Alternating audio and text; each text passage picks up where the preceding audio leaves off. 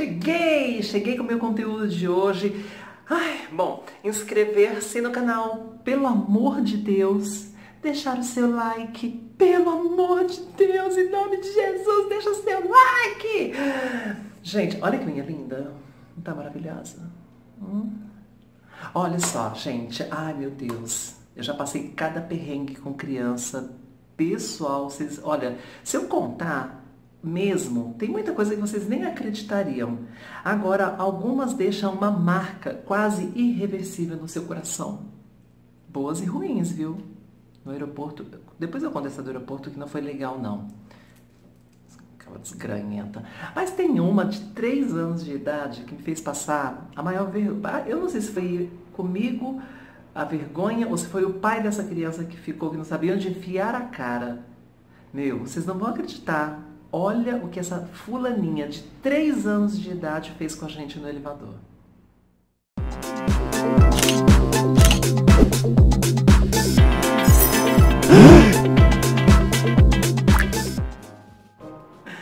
Não vai vendo, cara. Olha, olha se, se não tem criança que parece que tem pacto com o diabo, pelo amor de Deus. Uma fofa, mas terrível. A menina parece uma princesinha, sabe? Uma gracinha. Eu já tinha visto ela com a mãe dela. Aliás, a mãe dela tem um cabelo parecido com esse, assim. Mas o pai, querida. não pecais. Não pecais, Leonora. Você é casada, querida. Mas era o pai, gente. Aqueles magros, meio musculosinhos, assim, sabe?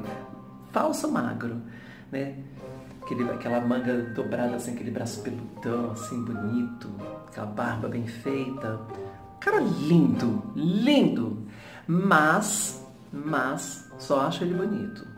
Porque nunca me cumprimentou. Me encontra no elevador, no, no, no, no, no andar, mora no mesmo andar que eu. Me encontra no andar, pensa que fala comigo, nem me cumprimenta, querida. Tá sempre disfarçando, sempre no celular, sempre. Não olha na minha cara. Aí comecei a achar ele feio até. Aí eu não sei se é medo de gostar, eu não sei se é um pouquinho de preconceito, não dá para saber. Mas também, gente, ai, São Paulo é assim, as pessoas mal se cumprimentam, entendeu? Às vezes você cumprimenta as pessoas querendo ser educada, fazer sua parte, ou a pessoa não te cumprimenta, ou a pessoa acha que está assediando. É um problema isso aqui. A gente nunca sabe direito como, re, como reagir. Mas esse homem, esse, esse, esse gostosão, nunca olhou na minha cara, nem no elevador, tá sempre dando um jeito de olhar pro chão, disfarçar, olhar pro filhinho, do que. Até que a filhinha dele, essa lindinha de três aninhos de idade, uma gracinha menina, entra, eu tô esperando o elevador eu vi a porta deles abrindo, eu já olhei para o outro lado, né? porque eles não me, ele não me cumprimenta, então eu já, eu já também já, já sei, não vou ter, né, ficar constrangendo ninguém. Aí ele parou do meu lado e tal. Aí a, e a menininha assim para mim, ó. Aí eu olhava para ela, ela se escondia atrás do pai. Aí fazia assim. Aí eu olhava, ela se escondia atrás do pai. E eu só olhava para ela de rabo de olho assim, mas não olhava para ele, só da cintura para baixo, mas não olhava na neca, tá? Para não dar ousadia. Olhava só assim, assim, sabe aquele olhar dela?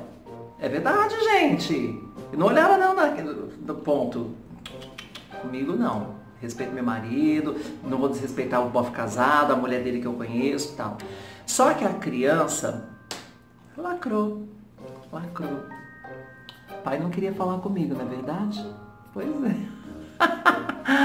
Sabe o que essa criança fez? Puxou o pai assim, nervosa e fez assim. Aí o pai olhou e falou assim, fala filha, eu só olhando de canto de olho. E ela fez assim, ó. Aquela brava ainda, três aninhos, brava, com a boneca na mão. Vem aqui. Aí o pai falou assim, oi filha, fala. Aí abaixou, aí ela cochichou no ouvido do pai em alta e bom som, porque criança não tem noção das coisas, assim, olha essa moça, ela é bonita. Eu fiz assim, ó. Eu não sabia onde foi a minha cara, porque eu sei que aquele homem sempre me evitou. Nunca nem olhou para mim, para não ter que me cumprimentar. Eu não sei o motivo, já falei. Mas ele fez isso. E ela, a menininha, olha essa moça, ela é bonita. Aí eu, aí eu peguei não aguentei, né? Eu falei, meu Deus, Menina, cala a boca, inferno! Não faz a gente adulto passar por esse constrangimento. O bofe não me quer, quer dizer, não quer me olhar. Não me quer, não tem que querer, mesmo que eu sou casada. Aí ela, ele falou assim, é filha, é, tá bom, filha. Mas ela pode ser sua namorada. Gente. O que, que essa criança fez com a gente? Aí o pai não olhou para mim, virou para a criança e falou assim: Filha, o papai já é casado com a mamãe. Sabe o que, que a criança falou para ele? Mas eu tô falando namorada. Toma, bofe! Toma, você não queria falar comigo, seu ordinário? Olha o que sua filha fez. Foi obrigado, obrigado. A menina não sossegou enquanto esse bofe não falou comigo, gente. Você acredita? Acabou que a menina, sem saber, fez com que a gente quebrasse aquele gelo. Olha que romântico. Que romântico não, olha que legal. Quebrou o gelo. O Bob teve que falar comigo, que foi tão engraçado a menina falando, ela pode ser sua namorada. Ela é bonita. Ainda falou que parecia uma princesa. Achei tão bonita. Ai, gente. Lacrou. Não lacrou? Bob teve que falar comigo. Falei, ai, crianças, né? Eu fazendo a, a, moça de família. Ai, essas crianças, né? Elas, ai, elas são terríveis. Ele falou assim, é, elas ficam constrangendo a gente. Eu falei, tudo bem com você? Você tá bem? Ah, tô bem. Desse dia em diante, ó, no elevador, tendo que falar comigo direto. Se ferrou. Adorei. Mas tem outras, outras coisas de crianças que vocês vão amar ouvir. Depois eu vou contar uma do, do aeroporto, que não tirava o de mim, de cima e embaixo, e eu, eu assim, ai, pensando, olha pra lá, filha da mãe, olha pra lá, não vem, vem. Mas essa criança também me, fez passar o constrangimento que eu conto depois em outro vídeo. Gente, eu tenho muitas histórias de crianças, porque elas sempre fazem parte da minha vida. Parece que a gente atrai, parece que elas sabem que eu sou apaixonada por criança. Principalmente quando é menina, eu fico louca, que era meu sonho ter uma garotinha. Talvez eu ainda tenha. Talvez eu adote uma. É meu sonho e um dia talvez eu realize. Não esquece de se inscrever nesse canal para a gente continuar trocando ideias e se divertindo com essas histórias que acontecem, que são lacrativas. Grande beijo para vocês.